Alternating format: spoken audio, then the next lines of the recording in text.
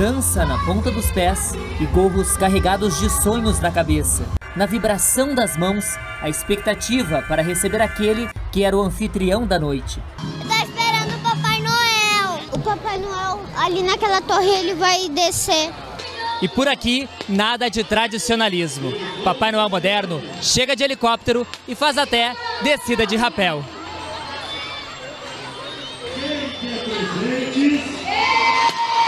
É uma noite muito tranquila e feliz e com muita alegria. No palco montado no Shopping Total, a imaginação ganhou vida através da dança.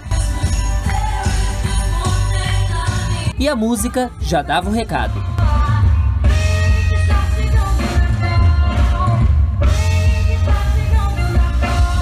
É bárbaro, vocês assistiram aqui, né, com a gente, a criançada toda brincando, se divertindo, cantando junto, né? E aquele encanto de ver o Papai Noel descer uma chaminé, vir de helicóptero e descer uma chaminé de 86 metros de altura. O Natal começa aqui, até esse ano teve essa ação junto com a Prefeitura de Porto Alegre, com o Cindy Loja, CDL, onde o Natal, realmente a abertura do Natal de Porto Alegre começou no Shopping Total, no dia de hoje, e com diversas ações ao longo do mês de dezembro, de Natal pela cidade.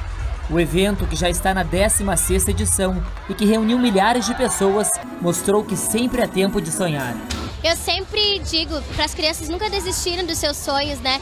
Sempre seguirem em frente, porque o sonho é o primeiro passo para a gente conseguir chegar onde a gente quiser, se a gente se dedicar muito, a gente sempre consegue chegar. Então o sonho é muito importante na nossa vida para a gente conseguir atingir os nossos objetivos. E por aqui, os sonhos já estão lá no alto.